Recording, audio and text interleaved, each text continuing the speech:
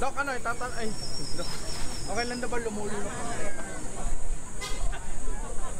Well, okay naman kasi ah, hindi naman kayo dahil pag nilunok mo, lalabas mo yan.